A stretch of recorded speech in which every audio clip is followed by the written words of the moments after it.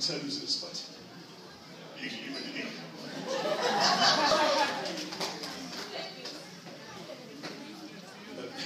That reminds me of that joke where the punchline is, what's wrong with the Schmetterling?